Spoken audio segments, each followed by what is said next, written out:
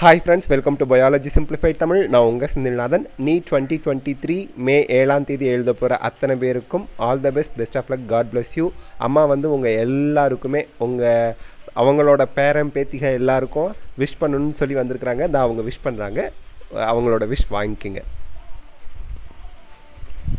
அனைவரும் வாழ்க வளமுடன். நீட் தேர்வு எழுத போகும்.